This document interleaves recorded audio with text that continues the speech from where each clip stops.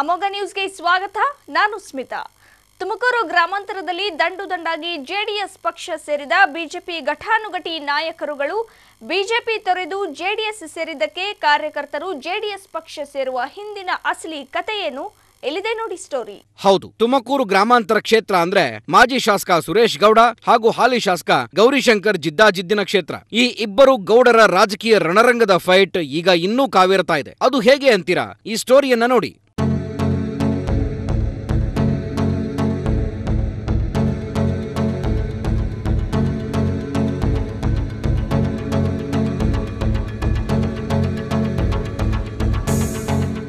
ದೇಶದ ರಾಜಕೀಯ ಹಾಗೂ ರಾಜ್ಯದ ರಾಜಕೀಯಕ್ಕೂ ಮಿಗಿಲಾಗಿ ಈ ಲೋಕಲ್ ರಾಜಕೀಯ ಬಹಳ ರಣರಂಗವಾಗಿರುತ್ತೆ ಮತ್ತು ವರ್ಣರಂಜಿತವಾಗಿರುತ್ತೆ. ನೇರ ನೇರ ಫೈಟ್ ಜಾತಿ ಲೆಕ್ಕಾಚಾರದ ಚುನಾವಣೆ ಅಂದ್ರೆ ಅದು ಪಕ್ಕಾ ಲೋಕಲ್ ರಾಜಕೀಯ. ಇಂದು ಈ ತುಮಕೂರು ಗ್ರಾಮಾಂತರದ ಲೋಕಲ್ ರಾಜಕೀಯ ರಣರಂಗ ಆಗಿರೋದ್ರಲ್ಲಿ ಎರಡು ಮಾತಿಲ್ಲ. ತುಮಕೂರು ಗ್ರಾಮಾಂತರ ಕ್ಷೇತ್ರ ಈಗ ಜೆಡಿಎಸ್ ಭದ್ರ ಕೋಟೆಯಾಗಿ ನಿಂತಿದೆ. ಗೌರಿಶಂಕರ್ ಈಗ ಈ ಕ್ಷೇತ್ರಕ್ಕೆ ಹಾಲಿ ಶಾಸಕ. ಇವರ ಸಂಘಟನಾ ಚತುರತೆಯನ್ನು ಅರಿತು ಮುಂದಿನ ದಿನಗಳಲ್ಲಿ ಚುನಾವಣೆಯಲ್ಲಿ ಜೆಡಿಎಸ್ನಿಂದ ನಾವು ಸ್ಪರ್ಧಿಸಿದ್ರೆ ಗೆಲುವು ಖಚಿತ ಎನ್ನುವ ಅಗಾಧ ನಂಬಿಕೆಯಿಂದ ಬಿಜೆಪಿ ತೊರೆದು ಜೆಡಿಎಸ್ ಸೇರಿದ್ದಾರೆ ತಾಲೂಕು ಪಂಚಾಯಿತಿ ಸದಸ್ಯರು ಹಾಗೂ ಜಿಲ್ಲಾ ಪಂಚಾಯಿತಿ ಸದಸ್ಯರು.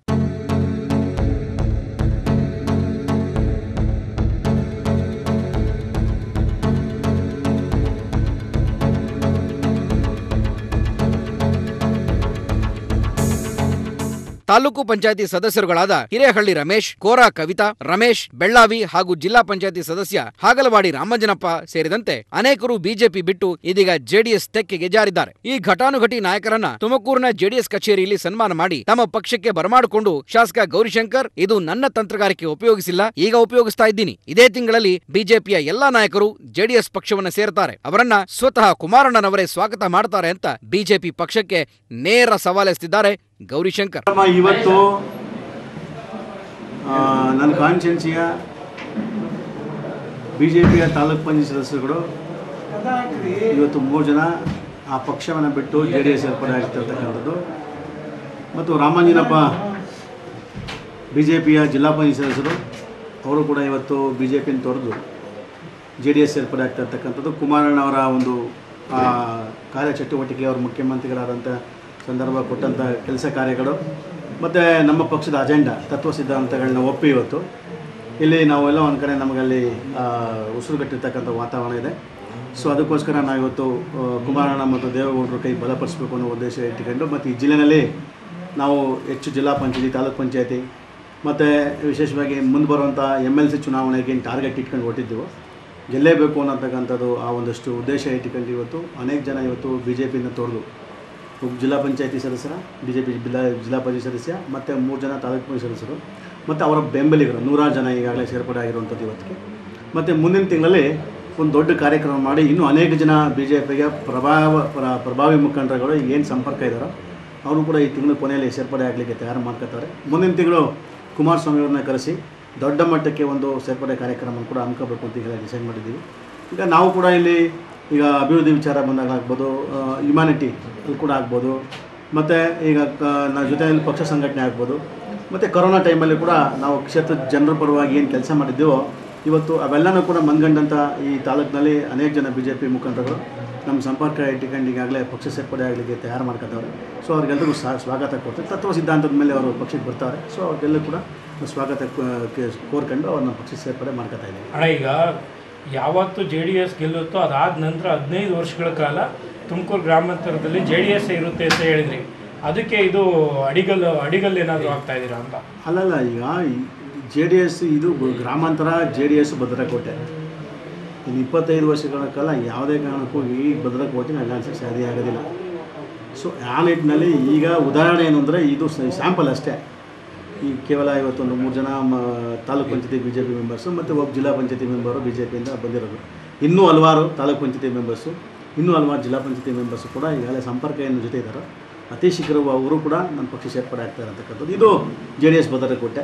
ತುಮಕೂರು ಗ್ರಾಮಾಂತರ ಒಂದೇ ಭದ್ರಕೋಟೆ ಅನ್ನೋದಕ್ಕಿಂತ ಜಿಲ್ಲೆ ಭದ್ರಕೋಟೆ ಮಾಡಬೇಕು ಅನ್ನೋಂಥ ಗುರಿ ನಮ್ಮದೇನಿತ್ತು ಕನಿಷ್ಠ ಪಕ್ಷ ನಮ್ಮ ಟಾರ್ಗೆಟ್ ಇವತ್ತು ಕುಮಾರಣ್ಣ ಏನು ಒನ್ ಟು ತ್ರೀ ಏನೋ ಟಾರ್ಗೆಟ್ ಇಟ್ಕೊಂಡು ಹೊರಟವರು.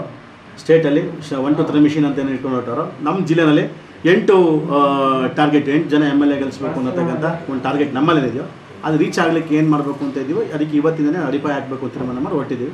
ಸೊ ನಾವು ಸಕ್ಸಸ್ ಸಕ್ಸಸ್ ಆಗ್ತೀವಿ ಅನ್ನೋತಕ್ಕ ನಂಬಿಕೆ ನಮಗಿದೆ. ತಾಲೂಕು ಪಂಚಾಯತಿ ಮೆಂಬರ್ಗಳು ಬಂದಿರೋರು ಯಾವ ಕ್ಷೇತ್ರದವರು?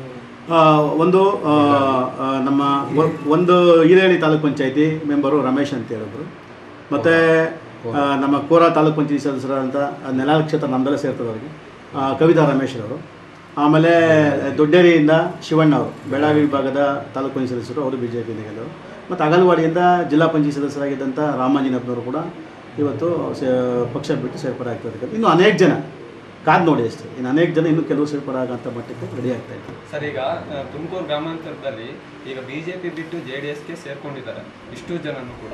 ಅದರಲ್ಲಿ ಬಿಜೆಪಿ ನಾಯಕರ ಕೊರತೆಯಿಂದನ ಅಥವಾ ಬಿಜೆಪಿ ಸರ್ಕಾರದ ವೈಫಲ್ಯದಿಂದನ ಸೇರ್ಕೊಂಡಿದ್ದಾರೆ ಈಗ ಸರ್ಕಾರದ ಧೋರಣೆ ಇದೆಯಲ್ಲ ಅವರು ದೊಡ್ಡ ನಂಬಿಕೆ ಇಟ್ಕೊಂಡಿದ್ರು ಪಾಪ. ಬಿ ಜೆ ಪಿನಲ್ಲಿ ಇಲ್ಲ, ನಾವೆಲ್ಲರೂ ಕೂಡ ಒಂದಷ್ಟು ಪಬ್ಲಿಕ್ಸ್ ಒಳ್ಳೇದು ಮಾಡ್ಬೋದು ಅನ್ನೋ ಭಾವನೆ, ಆಶಾಭಾವನೆಗಳು ಇಟ್ಕೊಂಡ್ರು ಪಾಪ ಆಗಲಿಲ್ಲ ಈಗಾಗಲೇ ಜನ ಈಗ ಬೆಲೆ ಏರಿಕೆ ವಿರುದ್ಧ ಜನ ಕೆಂಗೆತ್ತು ಬಿಟ್ಟವ್ರೆ ಈಗಾಗಲೇ ಹಳ್ಳಿ ಭಾಗದಲ್ಲಿ ಜನ ಬಿ ಜೆ ಪಿಗೆ ಓಟ್ ಹಾಕ್ಲಿಕ್ಕೆ ರೆಡಿ ಇಲ್ಲ.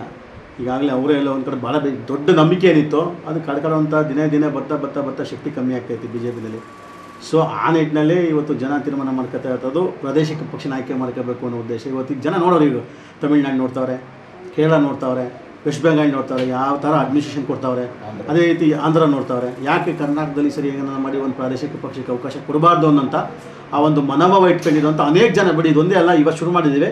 ಜಿಲ್ಲೆಯಲ್ಲೂ ಕೂಡ ಇನ್ನೂ ಅನೇಕ ಜನ ಸೇರ್ಪಡೆ ಆಗುವಂಥ ಮಟ್ಟಕ್ಕೆ ಅತಿ ಶೀಘ್ರವಾಗಿ ಚಾಲನೆ ಕೊಡ್ತಿದ್ದಾರೆ.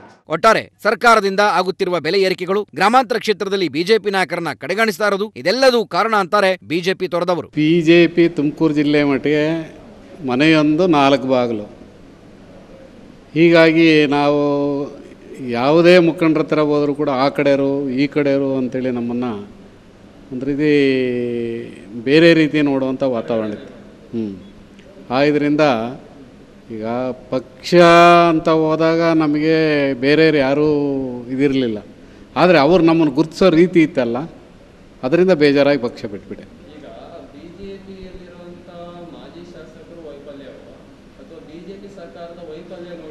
ಇಲ್ಲ ಸರ್ಕಾರದ ವೈಫಲ್ಯ ಅನ್ನೋದಕ್ಕಿಂತ ಇಲ್ಲಿರುವಂಥ ಗುಂಪುಗಾರಿಕೆ ಇದೆ ನೋಡಿ. ಗುಂಪುಗಾರಿಕೆಯಿಂದ ನಮಗೆ ಈಗ ಬಿ ಜೆ ಪಿಯೇ ನಮ್ಮನ್ನು ಸಾಕಷ್ಟು ತುಳಿಯುವಂಥ ಸ್ಥಿತಿ ನಿರ್ಮಾಣ ಆಗಿರೋದ್ರಿಂದ ನಾವೇನು ಅಧಿಕಾರಕ್ಕೆ ಆಸೆ ಪಟ್ಟಾರಲ್ಲ ಅವರು ಏನು ಸೀಟ್ ಕೊಟ್ಟರು ಪಕ್ಷಕ್ಕೆ ಶಕ್ತಿ ಬರೋ ರೀತಿ ನಾವು ಯಾವುದೇ ಅವರಿಂದ ಅಪೇಕ್ಷೆ ಇಲ್ಲದೆ ಗೆದ್ದು ಬಂದು ಪಕ್ಷಕ್ಕೆ ಶಕ್ತಿಯನ್ನು ತುಂಬಿದು. ಆದರೆ ನಮ್ಮನ್ನು ಕ, ಅವ್ರು ನಡೆಸ್ಕೊಂಡಂಥ ರೀತಿ ಬೇಜಾರಾಯಿತು. ಹೌದು. ಇಲ್ಲ, ಕಾರ್ಯಕರ್ತರು ನಾನು ಆಗಲ್ವಾಡಿ ಹೋಬಳಿ ಆಗಿರೋದ್ರಿಂದ ಅಲ್ಲಿ ನನಗೆ ಬಿ ಜೆ ಪಿ ಅನ್ನೋದಕ್ಕಿಂತ ಎಲ್ಲ ಪಕ್ಷದವರು ನನಗೆ ಸಹಕಾರ ಕೊಟ್ಟರು ಈಗಲೂ ಕೂಡ ಎಲ್ಲ ಪಕ್ಷದ ಮುಖಂಡರುಗಳು ನನ್ನ ಟಚ್ಚಲ್ಲಿದ್ದಾರೆ. ಅವರು ಸಹಕಾರ ಕೊಟ್ಟಿದ್ದಾರೆ. ಹೇಳಿದ್ದಾರೆ ಹೇಳಿದ್ದಾರೆ. ಇಲ್ಲ, ನಾ ಜ- ಈಗ ಜೆ ಡಿ ಎಸ್ನಲ್ಲಿ ಯಾವುದೇ ನಾವು ಸ್ಥಾನದ ಆಕಾಂಕ್ಷಿಗಳಲ್ಲ.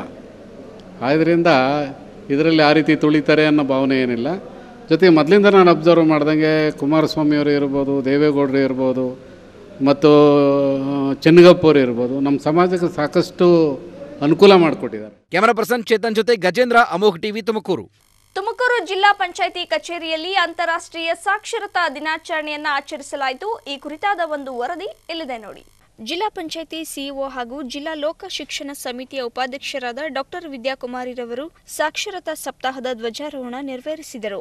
ಇನ್ನು ಈ ಸಂದರ್ಭದಲ್ಲಿ ಸಿಇಒರವರು ಮಾತನಾಡಿ, ಸಮಾಜದ ಕಟ್ಟಕಡೆಯ ವ್ಯಕ್ತಿಯೂ ಸಹ ಅಕ್ಷರಸ್ಥರಾದಾಗ ಮಾತ್ರ ದೇಶದ ಅಭಿವೃದ್ಧಿ ಸಾಧ್ಯ ಎಂದು ಹೇಳಿದರು. ಕನಿಷ್ಠ ಒಂದು ಓದುವ ಅವಕಾಶವನ್ನಾದರೂ ಮಾಡಿಕೊಡ್ಬೇಕು ಅನ್ನುವಂತ ಉದ್ದೇಶದಿಂದ ಸಾಕ್ಷರ ದಿನವನ್ನು ಆಚರಿಸುವ ಮೂಲಕ ಅವರಿಗೂ ಕೂಡ ಓದುವ ಬರೆಯುವರಿ ಬರೆಯುವುದನ್ನು ಕಲಿಸುವಂತಹ ಒಂದು ಯೋಜನೆಯನ್ನು ಹಮ್ಮಿಕೊಂಡಿದ್ದೇವೆ. ಇದನ್ನು ನಾವು ನಮ್ಮ ಜಿಲ್ಲೆಯಲ್ಲಿ ಅನುಷ್ಠಾನ ಮಾಡಬೇಕಾಗಿದೆ. ಅನೇಕರು ಇದ್ದಾರೆ. ಕಳೆದ ವರ್ಷದ ಸುಮಾರು ಹನ್ನೊಂದು ಸಾವಿರ ಜನರಿಗೆ ನಮ್ಮ ಸಾಕ್ಷರತಾ ಇಲಾಖೆಯ ಏನು ಟೀಚರ್ಸ್ ಇದ್ದಾರೆ ಅಥವಾ ಸಂಪನ್ಮೂಲ ವ್ಯಕ್ತಿಗಳಿದ್ದಾರೆ ಅವರು ಮನೆ ಮನೆಗೆ ಹೋಗಿ ಅಥವಾ ಯಾವುದೋ ಒಂದು ಸಂಪನ್ಮೂಲ ಕೇಂದ್ರವನ್ನು ಐಡೆಂಟಿಫೈ ಮಾಡಿಕೊಂಡು ಅಲ್ಲಿ ಪಾಠವನ್ನು ಮಾಡಿ, ಅವರಿಗೆ ಕೊನೆಗೊಂದು ಪರೀಕ್ಷೆಯನ್ನು ಮಾಡಿ ಅವರಿಗೊಂದು ಪ್ರಮಾಣ ಪತ್ರವನ್ನು ಕೊಡುವಂಥದ್ದು ಇದೆ. ಈ ವರ್ಷವೂ ಕೂಡ ಅದನ್ನು ನಾವು ಮಾಡಬೇಕಾಗಿದೆ. ಅದಕ್ಕೆ ಯೋಜನೆಯನ್ನು ಹಾಕಿಕೊಳ್ತಾ ಇದ್ದೇವೆ. ಇದರಲ್ಲಿ ಯಾರು ಕೂಡ ಇದನ್ನು ಮಾಡ್ಬೋದು. ಕೆಲವು ನಮ್ಮ ಪಕ್ಕದ ಮನೆಯಲ್ಲಿ ಯಾರಾದರೂ ಓದದವರು ಇದ್ದರೆ ಅವರಿಗೆ ಓದುವಂಥದ್ದು. ಈವನ್ ಹೈಸ್ಕೂಲ್ ಮಕ್ಕಳನ್ನು ನಾವು ಇದರಲ್ಲಿ ಪಾರ್ಟಿಸಿಪೇಟ್ ಮಾಡ್ಬೋದು. ಅವರಿಗೆ ಬರೆಯೋಕ್ಕೆ ಓದೋಕ್ಕೆ ಬರೆಯುತ್ತೆ. ಇವರಿಗೆ ಅದನ್ನು ಕಲಿಸುವಂಥ ವ್ಯವಸ್ಥೆಯನ್ನು ಮಾಡೋದಕ್ಕೆ ನಾವು ಕರೆ ಕೊಡಬಹುದು ಇನ್ನು ಜಿಲ್ಲೆಯ ಅನಕ್ಷರಸ್ಥರನ್ನ ಸಾಕ್ಷರನ್ನಾಗಿ ಮಾಡಲು ಸಾಕ್ಷರತಾ ಇಲಾಖೆ ಪ್ರಯತ್ನ ಮಾಡುತ್ತಿದೆ ಎಂದು ತಿಳಿಸಿದರು. ಜಿಲ್ಲಾ ವಯಸ್ಕರ ಶಿಕ್ಷಣಾಧಿಕಾರಿ ಮಾಧವ್ ರೆಡ್ಡಿ ಜನಶಿಕ್ಷಣ ಸಂಸ್ಥೆಯ ನಿರ್ದೇಶಕ ಸುಕನ್ಯಾ, ಕೆ ಸಿದ್ದರಾಮಯ್ಯ ಮತ್ತಿತರರು ಪಾಲ್ಗೊಂಡಿದ್ದರು. ಕೊರಟಗೆರೆ ತಾಲೂಕಿನ ಬೈರಗೊಂಡ್ಲು ಬಳಿ ಎತ್ತಿನಹೊಳೆ ಯೋಜನೆಯಡಿ ಡ್ಯಾಂ ನಿರ್ಮಾಣ ಮಾಡದಿದ್ದಲ್ಲಿ ಮಂಚಿನ ಬೆಲೆ ಕಾಮಗಾರಿ ಹಾಗೂ ಎತ್ತಿನಹೊಳೆ ಕಾಮಗಾರಿಗೆ ನಮ್ಮ ಮಠದ ಜಮೀನು ಬಿಟ್ಟು ಕೊಡುವುದಿಲ್ಲ ಎಂದು ಯಲೆರಾಂಪುರ ಮಠದ ಶ್ರೀ ಹನುಮಂತನಾಥ ಸ್ವಾಮೀಜಿ ಎಚ್ಚರಿಸಿದ್ದಾರೆ. ಪಟ್ಟಣದ ತುಮುಲ್ ಉಪಕೇಂದ್ರದಲ್ಲಿ ತುಮುಲ್ ಕಲ್ಯಾಣ ಟ್ರಸ್ಟ್ ಮತ್ತು ತುಮಕೂರು ಹಾಲು ಒಕ್ಕೂಟದ ವತಿಯಿಂದ ಹಮ್ಮಿಕೊಂಡಿದ್ದ ಕೋವಿಡ್ನಿಂದ ಮೃತಪಟ್ಟ ಫಲಾನುಭವಿಗಳಿಗೆ ಚೆಕ್ ವಿತರಣಾ ಸಮಾರಂಭದ ಸಾನ್ನಿಧ್ಯ ವಹಿಸಿ ಮಾತನಾಡಿದ ಅವರು, ಯಾವುದೇ ಸರ್ಕಾರಗಳು ಬಂದರೂ ರೈತರ ಪರವಾಗಿರಬೇಕು. ಆಗ ಮಾತ್ರ ರೈತರ ಅಭಿವೃದ್ಧಿ ಸಾಧ್ಯ ಎಂದರು. ಇವತ್ತು ಎತ್ತಿನಹೊಳೆ ಯೋಜನೆ ಸನ್ಮಾನ್ಯ ಶಾಸಕ ಡಾಕ್ಟರ್ ಜಿ ಪರಮೇಶ್ವರ್ ಮಠಕ್ಕೆ ಬಂದಾಗ ಮನೆನೂ ಕೂಡ ಹೇಳಿದ್ದೆ ನಾನು. ಇವತ್ತು ಬೆಂಗಳೂರಿಗೆ ಏನು ಮಂಚನಬೆಲೆ ಡ್ಯಾಮಿಗೆ ನೀರು ಹೋಗ್ಬೇಕು, ದೊಡ್ಡಬಳ್ಳಾಪುರಕ್ಕೆ ನೀರು ಹೋಗ್ಬೇಕು ಅದು ನಮ್ಮ ಮಠದ ಜಮೀನಲ್ಲೇ ಹೋಗ್ಬೇಕು. ಮೈರ್ಗೊಂಡ್ಲಲ್ಲಿ ಏನಾದರೂ ಕೂಡ ಅವರು ಡ್ಯಾಮ್ ಅನ್ನ ಮಾಡಲಿಲ್ಲ ಅಂತ ಹೇಳಿದ್ರೆ ನಮ್ಮ ಮಠದ ಜಾಗ ನಾನು ಬಿಡೋದಿಲ್ಲ, ಎರಡು ಕಡೆಗೂ ನೀರು ಹೋಗೋದಿಲ್ಲ. ಇದು ನನ್ನ ತೀರ್ಮಾನ ಅಂತೇಳಿ ನಾನು ಭಾವಿಸ್ಕೊಂಡಿದ್ದೀನಿ. ಯಾಕೆ ಅಂತ ಹೇಳಿದ್ರೆ ಯೋಜನೆಗಳನ್ನ ರೈತರ ಪರ ಜನಪರ ಇರಬೇಕು. ಯಾವುದೇ ಯೋಜನೆಗಳು ಕೂಡ ರಾಜಕೀಯವನ್ನ ದ್ವೇಷದಲ್ಲಿ ಇವತ್ತು ರೈತರು ಹಾಳಾಗುವಂಥದ್ದಾಗೋದು ಬೇಡ. ಇವತ್ತು ಸನ್ಮಾನ್ಯ ಮಾತನಾಡಿದಾಗೆ ಇವತ್ತು ನಾವೇನು ಮಾಜಿನಕ್ಕೆ ಆಗ್ತಾ ಇಲ್ಲ ಅಂತಂದ್ರು. ನಮ್ದೊಂದು ಕೊರಗಿತ್ತು ಎಷ್ಟೋ ಸಾರಿ. ನಮ್ಮ ಜಿಲ್ಲೆಯವರೊಬ್ರು ಒಬ್ಬ ಮುಖ್ಯಮಂತ್ರಿ ಆಗಲಿ ಅಂತೇಳಿ ನಾವು ಕೂಡ ಭಾವಿಸಿದ್ವಿ. ಮುಂದಿನ ದಿನಗಳಲ್ಲಿ ಕೂಡ ಭಗವಂತ ಅವರಿಗೆ ಶಕ್ತಿಯನ್ನು ಕೊಡಲಿ, ಒಳ್ಳೆಯದನ್ನು ಮಾಡಲಿ. ನಾವೆಲ್ಲರೂ ಕೂಡ ಮಧುಗಿರಿಯ ಜಿಲ್ಲೆಯನ್ನ ಮಾಡೋಣ. ಈ ಜಿಲ್ಲೆಗೆ ಒಬ್ಬ ಮುಖ್ಯಮಂತ್ರಿಯನ್ನು ಕೂಡ ಕೊಡುವಂತ ಕೆಲಸ ನಾವೆಲ್ಲರೂ ಕೂಡ ಒಟ್ಟಾಗಿ ಮಾಡಿ ಅಂತೇಳಿ ಭಗವಂತನಲ್ಲಿ ಪ್ರಾರ್ಥನೆ ಮಾಡ್ತೇನೆ. ಯಾಕೆಂದ್ರೆ ಇದು ಯಾವುದೋ ರಾಜಕಾರಣ ಅಲ್ಲ. ಎಷ್ಟೋ ಜನ ಅನ್ಕೊಂತಾರೆ. ಸ್ವಾಮಿಗಳು ಮಾತನಾಡಿದ ತಕ್ಷಣ ಏನೋ ಒಂದಿಷ್ಟು ಜಮೀನು ಕೊಡ್ತಾರೆ, ದುಡ್ಡು ಕೊಡ್ತಾರೆ ಅಂತೇಳಿ. ಬಹುಶಃ ನಾನು ಆಗಲ್ಲ ನಾನು ಇವತ್ತು ಹಸುಗಳನ್ನ ಸಾಕಿದ್ದೀನಿ. ದಿನ ನಲವತ್ತು ಲೀಟರ್ ಹಾಲು ಹಾಕ್ತಾ ಇದ್ದೀನಿ. ಕುರಿ ಸಾಕಿದ್ದೀನಿ, ಮೇಕೆ ಸಾಕಿದ್ದೀನಿ. ಇವತ್ತು ನಾನು ಓಡಾಡುವಂಥ ಕಾರನ್ನು ಕೂಡ ನಾನು ದಾಳಿಂಬೆ ತರಕಾರಿ ಬೆಳೆದು ಓಡಾಡ್ತಾ ಇದ್ದೀನಿ. ಬಿಟ್ರೆ ಇನ್ನೊಬ್ಬರನ್ನ ಹೊಗಳಿ ನಾನೇನೋ ಬದಲಾ ಬದಲಾವಣೆಗಳು ತರುವಂತ ವ್ಯವಸ್ಥೆಗೆ ನಾನು ಬಂದಿಲ್ಲ. ನಾವೆಲ್ಲ ಅನೇಕ ಇಂಜಿನಿಯರ್ಗಳು ಬಂದಾಗ ನಾನು ಎತ್ತಿನೊಳಗೆ ಬಂದಾಗ ಕೇಳ್ತಾ ಇದ್ದೆ. ಹಿಂದಿನ ಗವರ್ಮೆಂಟ್ ಹದಿಮೂರು ಸಾವಿರ ಕೋಟಿ ಕೊಟ್ಟಾಗ ಅರ್ಧ ಬರದ ಕೆಲಸ ಆಗಿದೆ. ಈ ಬಜೆಟ್ನಲ್ಲಿ ಐನೂರು ಕೋಟಿ ಅಂತ ಕೊಟ್ರೆ ಇಪ್ಪತ್ತಾರು ಸಾವಿರ ಕೋಟಿ ಎತ್ತಿನೊಳಿ ಯೋಜನೆಗೆ ಐನೂರ, ಐನೂರು ಕೋಟಿ ಹಂಗೆ ಎಷ್ಟು ಜನ ಬಜೆಟ್ ಮಂಡನೆ ಮಾಡಬೇಕು, ಎಷ್ಟು ಜನ ಮುಖ್ಯಮಂತ್ರಿಗಳು ಬರಬೇಕು ಅಂತ ಹೇಳಿ ನಾವು ಅಧಿಕಾರಿಗಳನ್ನು ಕೇಳಿದ್ರೆ ಯಾರು ಮಾತನಾಡುವಂತ ಪರಿಸ್ಥಿತಿಗೆ ಅವರಿಲ್ಲ. ಇವತ್ತು ಬಹುಶಃ ಮುಂದಿನ ದಿನಗಳಲ್ಲಿ ಏನಾದರೂ ನಮ್ಮ ಕೊರಟಗೆರೆ, ಮಧುಗಿರಿ, ಪಾವಗಡ, ಶಿರ ಈ ಭಾಗದಲ್ಲಿ ಸಮಗ್ರವಾಗಿ ನೀರಾವರಿ ಯೋಜನೆಗಳು ಬರಲಿಲ್ಲ ಅಂತ ಮಾಜಿ ಡಿಸಿಎಂ ಕೊರಟಗೆರೆ ಶಾಸಕ ಡಾಕ್ಟರ್ ಜಿ ಪರಮೇಶ್ವರ್ ಮಾತನಾಡಿ, ಮಾಜಿ ಸಿಎಂ ಸಿದ್ದರಾಮಯ್ಯನವರ ಅವಧಿಯಲ್ಲಿ ಎತ್ತಿನಹೊಳೆ ಯೋಜನೆ ಜಾರಿಗೆ ತಂದು ಇದಕ್ಕೆ ಹದಿಮೂರು ಸಾವಿರದ ಐನೂರು ಕೋಟಿ ರೂಪಾಯಿಗಳನ್ನು ಮೀಸಲಿರಿಸಲಾಗಿತ್ತು. ಈ ಯೋಜನೆಯಲ್ಲಿ ಕೊರಟಗೆರೆಯ ಬೈರಗೊಂಡ್ಲು ಬಳಿ ಡ್ಯಾಂ ನಿರ್ಮಾಣ ಮಾಡಿ ಐದು ಟಿಎಂಸಿ ನೀರು ಹರಿಸಲು ತೀರ್ಮಾನ ಕೈಗೊಳ್ಳಲಾಗಿತ್ತು. ಆದರೆ ಈ ಯೋಜನೆಗೆ ದೊಡ್ಡಬಳ್ಳಾಪುರ ರೈತರಿಂದ ಎರಡೂವರೆ ಸಾವಿರ ಎಕರೆ, ಕೊರಟಗೆರೆ ರೈತರಿಂದ ಎರಡೂವರೆ ಸಾವಿರ ಸೇರಿದಂತೆ ಒಟ್ಟು ಐದು ಸಾವಿರ ಎಕರೆ ಜಮೀನು ಸ್ವಾಧೀನಪಡಿಸಿಕೊಳ್ಳಲು ತೀರ್ಮಾನಿಸಲಾಗಿತ್ತು. ಇವತ್ತು ಮಧುಗಿರಿ ತಾಲೂಕು ಒಂದು ಶೈಕ್ಷಣಿಕ ಜಿಲ್ಲೆ ಆಗಿದೆ. ಅದನ್ನೇನು ಶೈಕ್ಷಣಿಕ ತೆಗೆದು ಕಂದಾಯ ಜಿಲ್ಲೆ ಮಾಡ್ಬೇಕಷ್ಟೆ. ಅದನ್ನ ನಾವು ಒತ್ತಾಯ ಮಾಡೇ ಮಾಡ್ತೀನಿ, ನಾನು ಕೂಡ ಮಾಡ್ತೀನಿ, ವೀರಭದ್ರಯ್ಯನವರು ಮಾಡ್ತಾರೆ. ನಮಗೆ ಈ ಭಾಗದಲ್ಲಿ, ಮಧುಗಿರಿಯಲ್ಲಿ ಜಿಲ್ಲೆ ಆಯಿತು ಅಂದ್ರೆ ನಮಗೆ ವಿಶೇಷವಾದಂಥ ಅನುದಾನಗಳು ಬರೋದಕ್ಕೆ ಪ್ರಾರಂಭ. ಒಣ ಪ್ರದೇಶ, ನಾಲ್ಕು ತಾಲೂಕು ಒಣ ಪ್ರದೇಶಗಳು ನಾಲ್ಕು ತಾಲೂಕಿನಲ್ಲಿ ಮಳೆ, ಕಡಿಮೆ ಮಳೆ. ರೈನ್ ಶಾಡೋ ಏರಿಯಾ ಅಂತೀವಿ ನಾವು. ಹೊಸಕು, ಹೊಸದುರ್ಗದಿಂದ ನಮಗೆ ಅನಂತಪುರದವರೆಗೂ ಕೂಡ ಕಡಿಮೆ ಮಳೆ ಬೀಳ್ತಕ್ಕಂಥದ್ದು. ಅದಕ್ಕಾಗಿ ನಮಗೆ ಈ ಇಲ್ಲಿ ಜಿಲ್ಲೆ ಆದರೆ ನಮ್ಮ ನಮ್ಮ ಭಾಗ ಅಭಿವೃದ್ಧಿ ಆಗ್ತದೆ ಎನ್ನುವಂಥದ್ದು ಎಲ್ಲರಿಗೂ ತಿಳಿದಿರುವಂತ ವಿಚಾರ. ಶಾಸಕ ಎಂವಿ ವೀರಭದ್ರಯ್ಯ ಮಾತನಾಡಿ ಸಿದ್ದಾಪುರ ಕೆರೆಗೆ ಹೇಮಾವತಿ ನೀರು ಹರಿಯಲು ಪರಂ ಕಾರಣ. ನೀರು ಹರಿಸಿದ ಕೀರ್ತಿ ಅವರಿಗೆ ಸಲ್ಲುತ್ತದೆ. ಮಧುಗಿರಿ ಉಪವಿಭಾಗಕ್ಕೆ ನೂರ ಇಪ್ಪತ್ತು ವರ್ಷಗಳ ಇತಿಹಾಸವಿದ್ದು ಕಂದಾಯ ಜಿಲ್ಲೆಯಾದಾಗ ಮಾತ್ರ ಮಧುಗಿರಿ ಅಭಿವೃದ್ಧಿ ಸಾಧ್ಯ. ಇದಕ್ಕಾಗಿ ಪಕ್ಷಾತೀತವಾಗಿ ಹೋರಾಟ ಮಾಡಬೇಕಿದೆ. ಎತ್ತಿನಹೊಳೆ ಯೋಜನೆಯ ಕಾಮಗಾರಿಯಿಂದ ಎಂಬತ್ನಾಲ್ಕು ಕೆರೆಗಳಿಗೆ ಹರಿಸುವ ಪ್ರಸ್ತಾಪವನ್ನು ಸಚಿವ ಮಾಧುಸ್ವಾಮಿ ಸರ್ಕಾರದ ಮುಂದಿಟ್ಟಿದ್ದಾರೆ ಎಂದರು. ಅಸಿಸ್ಟೆಂಟ್ ಕಮಿಷನರ್ ಆಗಿ ಕೆಲಸ ಮಾಡಿರ್ತ ಅದನ್ನ ನಾವು ಸ್ಮರ- ಸ್ಮರಿಸ್ ಸ್ಮರಿಸಬೇಕಾಗ್ತದೆ. ನಾಲ್ಕು ತಾಲೂಕುಗಳು ಈ ಸಬ್ ಡಿವಿಷನ್ ಅಲ್ಲಿ ಮಧುಗಿರಿ, ಪಾವಗಡ, ಕೊರಟಗೆರೆ ಮತ್ತು ಪಾವಗಡವಾಗಿಲ್ಲ ನಾಲ್ಕು ಸಬ್ ಡಿವಿಷನ್ ನಾಲ್ಕು ತಾಲೂಕುಗಳ ಸಾರಿ ನಾಲ್ಕು ತಾಲೂಕುಗಳು ಒಂದೇ ಪಥದಲ್ಲಿದ್ದಾವೆ ಬರಗಾಲದಲ್ಲಿ ಮಳೆನೂ ಕೂಡ ನಾಲ್ಕು ತಾಲೂಕುಗಳಲ್ಲಿ ಬಹಳ ಬಹಳ ಕಡಿಮೆ ಇದೆ. ರೈತರು ಸೊರಗ್ತಾ ಇದ್ದಾರೆ. ಈ ನಾಲ್ಕು ತಾಲೂಕುಗಳಿಗೆ ಅತ್ಯಂತ ಅವಶ್ಯಕವಾಗಬೇಕಾಗಿರ್ತಕ್ಕಂಥದ್ದು ತಾಲೂಕು ಕೇಂದ್ರ, ಕಂದಾಯ, ಒಂದು ಕಂದಾಯ ಜಿಲ್ಲೆ ಆಗ್ಬೇಕಾಗಿದೆ. ಇದು ಜಿಲ್ಲೆ ಮಾಡಲಿಕ್ಕೆ ಈಗಾಗಲೇ ನಾನು ಸದನದಲ್ಲೂ ಕೂಡ ಮಾಡಿದ್ದೇನೆ.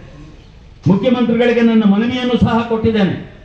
ಕಂದಾಯ ಮಂತ್ರಿಗಳಿಗೆ ನನ್ನ ಮನವಿಯನ್ನು ಕೊಟ್ಟಿದ್ದೇನೆ. ಉಸ್ತುವಾರಿ ಸಚಿವರಾದಂತಹ ಮಾಧುಸ್ವಾಮಿ ಅವರಿಗೂ ಸಹ ಮನವಿಯನ್ನು ನಾನು ಕೊಟ್ಟಿದ್ದೇನೆ. ಇದರ ಅವಶ್ಯಕತೆ ತುಂಬಾ ಇದೆ. ಇದರ ಅವಶ್ಯಕತೆ ಬಹಳ ಬಹಳ ಇದೆ. ಬ್ರಿಟಿಷ್ನವ್ರ ಕಾಲದಲ್ಲಿ ಇತ್ತು ಈ ಸಬ್ ಡಿವಿಷನ್ ಮಹಾರಾಜರ ಕಾಲದಲ್ಲೂ ಕೂಡ ಈ ಸಬ್ ಡಿವಿಷನ್ ಇತ್ತು. ಇದು ಮುಂದುವರಿಲೇಬೇಕಾಗ್ತದೆ. ಈ ಬಗ್ಗೆ ನಾವೆಲ್ಲರೂ ಸಹ ಈ ಭಾಗದ ಜನಪ್ರತಿನಿಧಿಗಳು ಪಕ್ಷಾತೀತವಾಗಿ ಪಕ್ಷ ಒಂದ್ ಕಡೆ ಬಿಡಿ, ಪಕ್ಷಾತೀತವಾಗಿ ನಾವೆಲ್ಲರೂ ಸಹ ಸಂಘಟಿತವಾಗಿ ಹೋರಾಟ ಮಾಡಿದ್ರೆ ಖಂಡಿತ ಇದೊಂದು ಜಿಲ್ಲೆಯಾಗಿ ಜಿಲ್ಲೆಯಾಗಿ ರೂಪುಗೊಳ್ತದೆ ಅಂತಕ್ಕಂಥ ತುಮುಲ್ ಮಾಜಿ ಅಧ್ಯಕ್ಷ, ಹಾಲಿ ನಿರ್ದೇಶಕ ಕೊಂಡವಾಡಿ ಚಂದ್ರಶೇಖರ್ ಮಾತನಾಡಿ, ಈ ಹಿಂದೆ ತುಮುಲ್ನಲ್ಲಿ ರೈತರಿಗೆ ಬಟವಾಡೆ ನೀಡಲು ಸಹ ಹಣವಿರಲಿಲ್ಲ. ಇಂದು ಪ್ರತಿ ವಾರ ಸುಮಾರು ಹತ್ತೊಂಬತ್ತು ಕೋಟಿ ರೂಪಾಯಿ ರೈತರ ಖಾತೆಗೆ ಜಮೆಯಾಗುತ್ತಿದೆ. ರೈತ ಕಷ್ಟಕ್ಕೆ ಸ್ಪಂದಿಸಲು ಕಲ್ಯಾಣ ಟ್ರಸ್ಟ್ ಸ್ಥಾಪಿಸಲಾಗಿದ್ದು, ಮೃತಪಟ್ಟ ರಾಸುಗಳಿಗೆ ಅರವತ್ತು ಸಾವಿರದವರೆಗೆ ವಿಮೆ ನೀಡಲಾಗ್ತಾ ಇದೆ.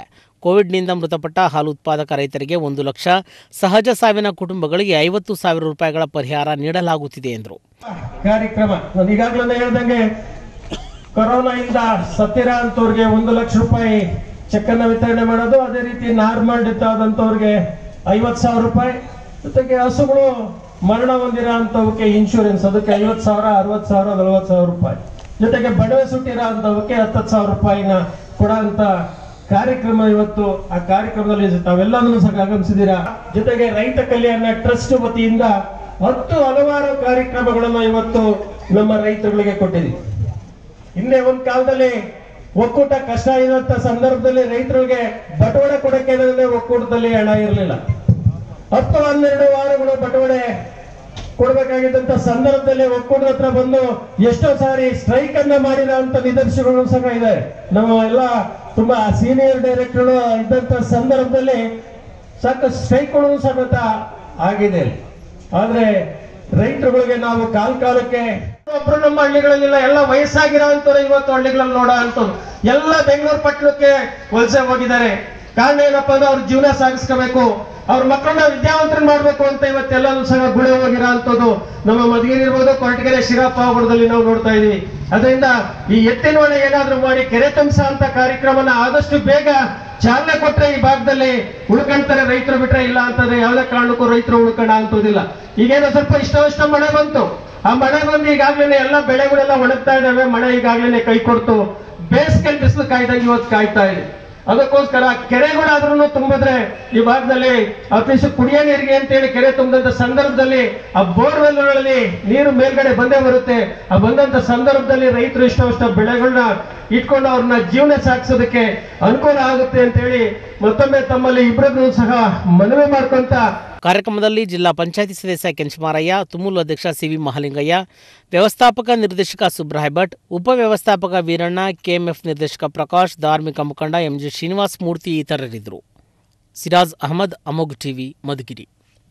ಕೋಲಾರ ಜಿಲ್ಲೆಯ ಶ್ರೀನಿವಾಸಪುರ ತಾಲೂಕಿನಲ್ಲಿ ಹಿರಿಯ ಶ್ರೇಣಿ ನ್ಯಾಯಾಲಯ ಕಟ್ಟಡ ಕಾಮಗಾರಿಯು ಶೀಘ್ರದಲ್ಲೇ ಆರಂಭವಾಗಲಿದೆ.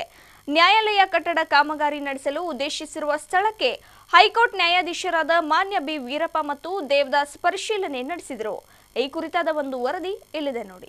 ಬಳಿಕ ಜಿಲ್ಲಾ ನ್ಯಾಯಾಧೀಶರು ಹಾಗೂ ತಾಲೂಕು ನ್ಯಾಯಾಧೀಶರ ಜೊತೆಗೆ ತಾಲೂಕು ನ್ಯಾಯಾಲಯದಲ್ಲಿನ ಸಮಸ್ಯೆಗಳನ್ನು ಇತ್ಯರ್ಥ ಮಾಡುವ ವಿಚಾರವಾಗಿ ಅಹವಾಲು ಸ್ವೀಕರಿಸಿ ಚರ್ಚೆ ನಡೆಸಿದರು. ಕೋಲಾರ ಜಿಲ್ಲೆಯ ವಿವಿಧ ತಾಲೂಕುಗಳಲ್ಲಿ ಅಪೀಲ್ ಕೋರ್ಟ್ ಲಭ್ಯತೆ ಇದೆ. ಆದರೆ ಶ್ರೀನಿವಾಸಪುರದಲ್ಲಿ ಮಾತ್ರ ಅಧಿಕ ಹಾಗೂ ಮುನ್ಸಿಪಲ್ ನ್ಯಾಯಾಲಯ ಸೇವೆ ಇದ್ದು, ದೂರುದಾರರು ಮೇಲ್ಮನವಿ ಸಲ್ಲಿಸಲು ಕೋಲಾರ ಜಿಲ್ಲಾ ನ್ಯಾಯಾಲಯಕ್ಕೆ ತೆರಳಬೇಕಾಗಿತ್ತು. ಹೀಗಾಗಿ ಈ ಸಮಸ್ಯೆಯನ್ನು ನಿವಾರಿಸಲು ಮಾನ್ಯ ಹೈಕೋರ್ಟ್ ನ್ಯಾಯಾಲಯ ಮುಂದಾಗಿದೆ. ಹೊಸ ನ್ಯಾಯಾಲಯ ಕಟ್ಟಡ ನಿರ್ಮಾಣ, ನಂತರ ಅಪೀಲ್ ಕೋರ್ಟ್ ಸೇವೆಯೂ ಸಹ ಸಾರ್ವಜನಿಕರಿಗೆ ಲಭ್ಯವಾಗಲಿದೆ ಅಂತ ಹೈಕೋರ್ಟ್ ನ್ಯಾಯಾಧೀಶರಾದ ದೇವದಾಸ್ ತಿಳಿಸಿದ್ದಾರೆ.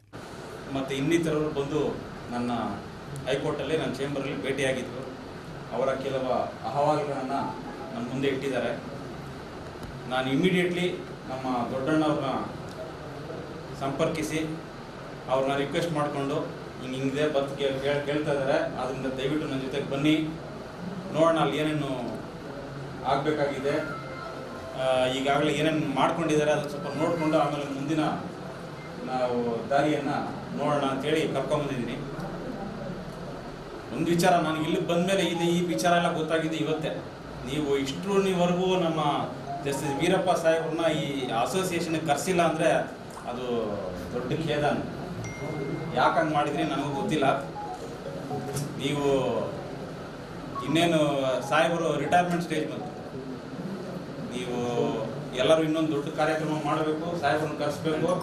ನಾವು ಬರ್ತೀವಿ. ಅದು ಒಂದು ಕಡೆ. ಈ ಕಡೆ ನಿಮ್ಮ ಏನೇನು ಕುಂದು ಕೊರತೆಗಳಿದ್ದಾವೆ ಅದನ್ನು ನಮ್ಮ ಪಿ ಡಿ ಎ ಸಾಹೇಬ್ರಿಗೂ ನೀವು ಹೇಳ್ಕೊಂಡಿದ್ದೀರಾ, ಅವರು ಕೂಡ ಏನೇನು ವ್ಯವಸ್ಥೆ ಮಾಡಬೇಕು ಎಲ್ಲ ಈಗಾಗಲೇ ಮಾಡಿದ್ದಾರೆ.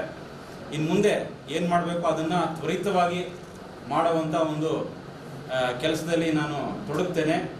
ನಿಮ್ಮೆಲ್ಲರ ನಿಮ್ಮೆಲ್ಲರಿಗೂ ಆ ಆಶ್ವಾಸನೆ ಕೊಟ್ಟು ಈ ದಿವಸ ಈ ಚಿಕ್ಕ ಒಂದು ಕಾರ್ಯಕ್ರಮವನ್ನು ಆಯೋಜಿಸಿ ನಮ್ಮನ್ನೆಲ್ಲ ಸ್ವಾಗತಿಸಿ ವಕೀಲರ ಸಂಘದ ಅಧ್ಯಕ್ಷರು ಲಾಯರ್ ಶಿವಣ್ಣ ಮಾತನಾಡಿ ಅಪೀಲುದಾರರಿಗೆ ಅನುಕೂಲವಾಗುವಂತೆ ಅಪೀಲುದಾರರು ಕೋಲಾರದಿಂದ ಕೋರ್ಟ್ ಮುಗಿಸಿಕೊಂಡು ತಮ್ಮ ತಮ್ಮ ಊರುಗಳಿಗೆ ಹೋಗೋದಕ್ಕೆ ಸರಿಯಾದ ಬಸ್ ವ್ಯವಸ್ಥೆ ಇರೋದಿಲ್ಲ. ಹಾಗಾಗಿ ವಕೀಲರಿಗೂ ಶ್ರೀನಿವಾಸಪುರದಿಂದ ಕೋಲಾರ ನ್ಯಾಯಾಲಯಕ್ಕೆ ಹೊರಡಲು ಸಮಸ್ಯೆಗಳು ಇರೋದ್ರಿಂದ ಮಾನ್ಯ ಹೈಕೋರ್ಟ್ ನ್ಯಾಯಾಧೀಶರಾದ ಬಿ. ವೀರಪ್ಪ ಹತ್ತಿರ ವಕೀಲ ಸಂಘದ ವತಿಯಿಂದ ಮನವಿ ಮಾಡಿಕೊಂಡಿದ್ದೀವಿ ಅಂತ ಲಾಯರ್ ಶಿವಣ್ಣ ಹೇಳಿದರು. ಇವತ್ತಿನ ವಿಶೇಷ ಕಾರ್ಯಕ್ರಮ ಇದು. ಇವತ್ತಿನ ಕಾರ್ಯಕ್ರಮ ಮೊದಲೇ ನಿಗದಿ ಆಗಿರ್ತಕ್ಕಂಥ ಕಾರ್ಯಕ್ರಮ ಅಲ್ಲ ಇದು ನಾವು ನಾಲ್ಕೈದು ಸಾರಿ ಹೈಕೋರ್ಟ್ಗೆ ಡೆಲಿಗೇಷನ್ ಹೋಗಿ ಈ ಶ್ರೀನಿವಾಸಪುರ ನ್ಯಾಯಾಲಯದ ಅನೇಕ ಸಮಸ್ಯೆಗಳನ್ನು ಬರಹಪೂರ್ವಕವಾಗಿ ನಾವು ಅನೇಕರು ಹೋಗಿ, ಅನೇಕ ಸಾರಿ ಹೋಗಿ ನಮ್ಮ ಅಹವಾಲುಗಳನ್ನು ಹೈಕೋರ್ಟ್ ಹೈಕೋರ್ಟ್ಗೆ ಮುಟ್ಟಿಸಿದ್ದೀವಿ. ಅದು ಸದಾಶಿವ ರೆಡ್ಡಿಯವರು ನಮಗೆ ಮಾರ್ಗದರ್ಶನ ಮಾಡಿದಂಥವ್ರು ಅವ್ರ ಮುಖಾಂತರ ವೀರಪ್ಪನವ್ರನ್ನ ಅವ್ರ ಮುಖಾಂತರ ಜಸ್ಟಿಸ್ ದೇವದಾಸ್ ಅವ್ರನ್ನ ಉಳಿದಂಥ ಅನೇಕ ಹೈಕೋರ್ಟಿನ ನೌಕರಿ ವರ್ಗ ಅವ್ರನ್ನ ಸಂದರ್ಶನ ಮಾಡಿ ನಾವು ಬರಹಪೂರ್ವಕವಾಗಿ ಅನೇಕ ನಿವೇದನೆಗಳನ್ನು ಕೊಟ್ಟು ಬಂದಿದ್ದೇವೆ. ಅದರಲ್ಲಿ ಇಲ್ಲಿ ಬಂದಿರತಕ್ಕಂಥ ಯಾವ ವಕೀಲರ ವ್ಯಕ್ತಿಗತ, ವ್ಯಕ್ತಿಗತವಾದ ಸಮಸ್ಯೆ ಇಲ್ಲ. ಇಲ್ಲಿ ಕೋರ್ಟ್ಗೆ, ಕೋರ್ಟ್ ಸಿಬ್ಬಂದಿಗೆ, ವಕೀಲರಿಗೆ ಮತ್ತು ಈ ಕೋರ್ಟ್ಗೆ ಕಕ್ಷಿದಾರರಾಗಿ ಬರ್ತಕ್ಕಂಥ ಜನರಿಗೆ ಸಾರ್ವಜನಿಕರಿಗೆ ಇದ್ದಂಥ ಅನೇಕ ಅನ, ಅನಾನುಕೂಲಗಳ ಬಗ್ಗೆ ಹೈಕೋರ್ಟ್ ಗಮನವನ್ನು ಸೆಳೆದಿದೆ ಈಗ ನಾವು ತಾಯಿ ಅಂಥದ್ದು ಮಗು ಅಳದೆ ಹೋದರೆ ತಾಯಿ ಕೂಡ ಹಾಲು ಕೊಡೋದನ್ನು ನಿಧಾನ ಮಾಡ್ಬೋದು ಅಥವಾ ಕೊಡ್ದಂಗೆ ಹೋಗ್ಬೋದು. ಈಗ ನಮ್ಮಲ್ಲಿ ಸಮಸ್ಯೆ ಇದೆ ಅಂಥೇಳಿ ಎತ್ತಿ ತೋರಿಸಿದ್ರೆ ಅಲ್ವಾ ಅವ್ರು ಗೊತ್ತಾಗೋದು? ಡಿ ಜೆ ಹೇಳಿದರು. ಆ ರೀತಿ ನಮ್ಮಲ್ಲಿ ಇದ್ದಂಥ ಸಮಸ್ಯೆಗಳನ್ನು ಒಂದೊಂದನ್ನಾಗಿ ಪಟ್ಟಿ ಮಾಡಿ ಎಲ್ಲ ವಕೀಲರ ಸಹಕಾರದಿಂದ ನಾವು ಹೈಕೋರ್ಟ್ಗೆ ಹೋಗಿದ್ದು ನಿಜ. ನಮ್ಮ ಈರಪ್ಪನವರು ಅಲ್ಲ, ಅವರು ಒಂದು ದೇಶಕ್ತಿ ನಮಗೆ. ಈರಪ್ಪ ಇದಂದರೆ ನಮ್ಮ ಕೆಲಸ ಆದಂಗೆ ಲೆಕ್ಕ. ಯಾರಾದರೂ ಬೇರೆ ಕೋರ್ಟ್ನ ನ್ಯಾಯಮೂರ್ತಿಗಳು ಬಂದರೆ ವೀರಪ್ಪ ಅವ್ರ ಹತ್ರ ಒಂದು ಅಪಾಯಿಂಟ್ಮೆಂಟ್ ಬೇಕು. ಅಪಾಯಿಂಟ್ಮೆಂಟ್ ಇಲ್ಲದೆ ಅಲ್ಲಿ ಒಳಗೆ ಅವಕಾಶನೇ ಇಲ್ಲ. ಅಂಥದ್ದು ಇಪ್ಪತ್ತು ಜನ, ಮೂವತ್ತು ಜನ ಹೋದರೆ ಅಪಾಯಿಂಟ್ಮೆಂಟು ಹಾಡು ಎಂಥದಿಲ್ಲ ಕರೆಸ್ಕೊಂಡು ಸಮಸ್ಯೆ ಕೇಳಿ ಊಹಿಸ್ಕೊಂಡು ಪ್ರತಿಯೊಂದನ್ನು ಅಲ್ಲಿಂದ ಫೋನಲ್ಲಿ ಇತ್ಯರ್ಥ ಮಾಡಿ ಪುಣ್ಯ ಕಟ್ಕೊಂಡೆ. ಇವತ್ತು ಅನೇಕ ಸಮಸ್ಯೆಗಳು ಇತ್ಯರ್ಥ ಆಗಿದ್ದಾವೆ. ಬಹಳ ದೊಡ್ಡ ಸಮಸ್ಯೆ ಈ ಕೋರ್ಟ್ಗೆ ಇರುತ್ತಂದ್ರೆ ಕೋಲಾರ್ಗೆ, ಅಪೀಲ್ ಕೋರ್ಟ್ಗೆ ಕೋಲಾರ್ಗೆ ಹೋಗ್ತಕ್ಕಂಥದ್ದು. ಅಂದರೆ ಕೋಲಾರ ಈ ಕೋರ್ಟಲ್ಲಿ ತೀರ್ಪಾದಂಥ ಕೇಸ್ಗಳ ಮೇಲೆ ಅಪೀಲ್ ಮೇಲ್ಮನೆಗೆ ಹೋದರೆ ಕೋಲಾರ್ಗೆ ಹೋಗಬೇಕು. ಮೊದಲನೇ ಅಪೀಲು. ಎರಡನೇ ಅಪೀಲು ಹೈಕೋರ್ಟ್ಗೆ ಹೋಗಬೇಕು. ಮೊದಲನೇ ಅಪೀಲ್ ಕೋರ್ಟ್ ಕೋಲಾರ ಹೋಗ್ತಕ್ಕಂಥದ್ದು ಈ ಕೇಸ್ ಈ ಕೋರ್ಟಲ್ಲಿ ಕೇಸ್ ಮುಕ್ತಾಯ ಆಗ್ತದೆ. ಈ ಮುಕ್ತಾಯ ಆದಮೇಲೆ ಅಪೀಲ್ ಹೋಗ್ತಕ್ಕಂಥದ್ದು ಅಲ್ಲೂ ಎರಡು ಮೂರು ವರ್ಷ ಕೇಸ್ ನಡೆದದ್ದು ಅದಾದಮೇಲೆ ಹೈಕೋರ್ಟ್. ಇದು ಪ್ರೋಸೆಸ್ಸು ಪ್ರತಿ ತಾಲೂಕಲ್ಲಿ ಕೂಡ ಆಗ್ಬೋದು ಬಂಗಾರಪೇಟೆ ಕೆ ಜಿ ಎಫ್ ಆಗ್ಬೋದು ಮಾಲೂರು ಆಗ್ಬೋದು ಕೋಲಾರ ಆಗ್ಬೋದು ಈ ಎಲ್ಲ ಹರ್ಷವರ್ಧನ್ ಅಮೋಘ ಟಿವಿ ಶ್ರೀನಿವಾಸಪುರ. ಮಧುಗಿರಿಯ ವೃದ್ಧನೊಬ್ಬ ಬುದ್ಧಿಮಾಂದ್ಯತೆಯ ಯುವತಿಯನ್ನ ನಿರಂತರವಾಗಿ ಅತ್ಯಾಚಾರವೆಸಗಿ ಗರ್ಭಿಣಿಯನ್ನಾಗಿಸಿರುವ ಘಟನೆ ಬಡವನಹಳ್ಳಿ ಪೊಲೀಸ್ ಠಾಣಾ ವ್ಯಾಪ್ತಿಯಲ್ಲಿ ಬಿಟ್ಟನಕುರಿಕೆ ಗ್ರಾಮದಲ್ಲಿ ನಡೆದಿರುವುದು ತಡವಾಗಿ ಬೆಳಕಿಗೆ ಬಂದಿದೆ. ಗ್ರಾಮದ ಲೇಟ್ ತಟ್ಟೆ ವೆಂಕಟಪ್ಪನವರ ಪುತ್ರ ಅರವತ್ತು ವರ್ಷದ ತಿಮ್ಮಪ್ಪ ಆರೋಪಿಯಾಗಿದ್ದು ಬಿಟ್ಟನಕುರ್ಗೆ ಗ್ರಾಮದ ಬುದ್ಧಿಮಾಂದ್ಯ ಇಪ್ಪತ್ತ್ಮೂರು ವರ್ಷದ ಯುವತಿಯನ್ನು ಸೆಪ್ಟೆಂಬರ್ ಆರರಂದು ಊರಿನ ಬಂಡೆಯ ಬಳಿ ಕರೆದುಕೊಂಡು ಹೋಗಿ ಅತ್ಯಾಚಾರ ಮಾಡುತ್ತಿದ್ದನ್ನ ಕಣ್ಣಾರೆ ಕಂಡ ಸಂತ್ರಸ್ತೆಯ ತಾಯಿ ವೃದ್ಧನನ್ನು ಬೈದು ಮನೆಗೆ ಹಿಂದಿರುಗಿಸಿದ್ದಾರೆ. ಮರ್ಯಾದೆಗೆ ಅಂಜಿ ದೂರು ನೀಡಿರಲಿಲ್ಲ. ನನ್ನ ಮಗಳಿಗೆ ಸರಿಯಾಗಿ ಮಾತನಾಡಲು ಬರುವುದಿಲ್ಲ. ಯಾರು ಏನೇ ಕೊಟ್ಟರೂ ತಿಂಡಿ, ಊಟ ತಿನ್ನುತ್ತಾಳೆ. ಕೆಲಸ ಮಾಡದೆ ಯಾವಾಗಲೂ ಮನೆಯಲ್ಲೇ ಇರುತ್ತಾಳೆ. ಹೆಚ್ಚು ಮಾತ್ರೆಗಳಿಂದ ಸೇವನೆಯಿಂದಾಗಿ ಋತುವಿನ ಚಕ್ರ ಸರಿಯಾಗಿ ಆಗುತ್ತಿರಲಿಲ್ಲ. ನನ್ನ ಮಗಳು ನೀರಿಗೆ ಹೋದಾಗ ಎಲ್ಲೇ ಹೋಗಲಿ, ತಿಮ್ಮಪ್ಪ ಹಿಂಬಾಲಿಸುತ್ತಿದ್ದನ್ನು ಗ್ರಾಮಸ್ಥರು ನೋಡಿದ್ದಾರೆ. ಈ ಬಗ್ಗೆ ಬಡವನಹಳ್ಳಿ ಪೊಲೀಸ್ ಠಾಣೆಯಲ್ಲಿ ಯುವತಿಯ ತಾಯಿ ಸೆಪ್ಟೆಂಬರ್ ಹತ್ತರಂದು ತಡವಾಗಿ ದೂರು ನೀಡಿದ್ದು ಪ್ರಕರಣ ದಾಖಲಾಗಿದೆ. ಸಿರಾಜ್ ಅಹಮದ್, ಅಮುಗ್ ಟಿವಿ, ಮಧುಗಿರಿ. ದೇಶವ್ಯಾಪ್ತಿ ಗಣೇಶ ಹಬ್ಬವನ್ನ ವಿಜೃಂಭಣೆಯಿಂದ ಆಚರಿಸುತ್ತಾರೆ. ಆದರೆ ಇಲ್ಲೊಂದು ಕಡೆ ಗಣೇಶ ಹಬ್ಬ ವರ್ಷ ವರ್ಷಕ್ಕೂ ಭಿನ್ನವಾಗಿ ಆಚರಿಸುತ್ತಾರೆ. ಸಿನಿಮಾಗಳಲ್ಲಿ ಸೆಟ್ ಹಾಕಿದ ಹಾಗೆ ಸೆಟ್ ಹಾಕಿ ಆಚರಿಸುತ್ತಾರೆ. ಅದು ಎಲ್ಲಿ ಅಂತೀರಾ? ಎಲ್ಲಿದೆ ನೋಡಿ. ಗಣೇಶ ಹಬ್ಬವು ಭಾರತದಾದ್ಯಂತ ಹಲವೆಡೆಗಳಲ್ಲಿ ಅತ್ಯಂತ ಸಂಭ್ರಮ ಮತ್ತು ಸಡಗರದಿಂದ ಆಚರಿಸಲಾಗುತ್ತೆ. ಮಹಾರಾಷ್ಟ್ರ ಮತ್ತು ಕರ್ನಾಟಕಗಳಲ್ಲಿ ಈ ಹಬ್ಬವನ್ನು ಅತ್ಯಂತ ಭಕ್ತಿ ಭಾವದಿಂದ ಆಚರಿಸಲಾಗುತ್ತೆ. ಬಹುತೇಕ ಮನೆಗಳಲ್ಲಿ ಚತುರ್ಥಿಯಂದು ಗಣಪತಿಯ ವಿಗ್ರಹವನ್ನ ಮನೆಗೆ ತಂದು ಪೂಜೆ ಮಾಡ್ತಾರೆ. ಆದರೆ ಹಬ್ಬವು ಸಾಮಾನ್ಯವಾಗಿ ಭಾದ್ರಪದ ಮಾಸದ ಮೊದಲ ದಿನ, ಅಂದರೆ ಪ್ರಥಮದಂದು ಆರಂಭವಾಗುತ್ತೆ. ಈ ದಿನ ಗಣಪತಿ ವಿಗ್ರಹವನ್ನ ಮನೆಗೆ ತಂದು ಮುಂದಿನ ಒಂಬತ್ತು ದಿನಗಳ ಕಾಲ ಸೂಕ್ತವಾದ ಜಾಗದಲ್ಲಿ ಕೂರಿಸಬೇಕು. ಈ ಗಣಪತಿಯನ್ನು ಕೂರಿಸುವ ಪ್ರಕ್ರಿಯೆಯನ್ನು ಸ್ಥಾಪನೆ ಅಥವಾ ಪ್ರತಿಷ್ಠಾಪನೆ ಎಂದು ಕರೆಯಲಾಗುತ್ತೆ. ಹೌದು. ಹೀಗೆ ಸಿನಿಮಾ ರೀತಿಯಲ್ಲಿ ದೊಡ್ಡ ಮಟ್ಟದಲ್ಲಿ ಒಂದು ಕಡೆ ತಿರುಪತಿ ದೇವಾಲಯವನ್ನ ಮರುಸೃಷ್ಟಿ ಮಾಡಿ ವೆಂಕಟರಮಣ ಸ್ವಾಮಿ ದೇವರನ್ನ ಹೊರಗೆ ಕಾಣುವಂತೆ ಮತ್ತು ದೊಡ್ಡ ಗಾತ್ರದ ತಿರುಪತಿಯಲ್ಲಿ ಕಾಣುವ ಬಂಗಾರದ ಗೋಪುರದಂತೆ ಇಲ್ಲಿಯೂ ಸಹ ಬಂಗಾರದ ಗೋಪುರ ನಿರ್ಮಾಣ ಮಾಡಿ ಗೋಪುರದ ಸೆಟ್ ಹಾಕಿ ಒಳಗಡೆ ಗಣಪತಿ ಕೂರಿಸಿ ಸಾರ್ವಜನಿಕರಿಗೆ ತಿರುಪತಿಯೇ ಮರುಕಳಿಸುವಂತೆ ಗಮನ ಸೆಳೆಯಲಾಗ್ತಾ ಇದೆ. ಇದರಲ್ಲಿ ಯಾವುದೇ ಹಿಂದೂ, ಮುಸ್ಲಿಂ, ಕ್ರಿಶ್ಚಿಯನ್ ಎನ್ನುವ ಸಮುದಾಯದ ಭೇದ ಭಾವ ಇಲ್ಲದೆ ಗಣೇಶನ ಹಬ್ಬವನ್ನು ಆಚರಣೆ ಮಾಡಲಾಗ್ತಾ ಬರ್ತಾ ಇದೆ. ಈ ದಿನ ವಾದ್ಯಗೋಷ್ಠಿ ಡಿಜೆ ಇತರ ಕಾರ್ಯಕ್ರಮಗಳು ಇಲ್ಲದೆ ಇರೋದು ಬೇಸರದ ಸಂಗತಿ. ಸರ್ಕಾರದ ಆದೇಶಗಳನ್ನು ಪಾಲಿಸುತ್ತಾ ಇಂದು ಗಣೇಶ ವಿಸರ್ಜನೆ ಮಾಡ್ತಾ ಇದ್ದೀವಿ ಅಂತ ಹೇಳಿದ್ರು. ಈ ಸತಿ ಏನಪ್ಪ ಆಯ್ತಂದ್ರೆ, ಈ ಸತಿ ತುಂಬಾ ಸರಳವಾಗಿ ಆಚರಿಸಿದ್ದು.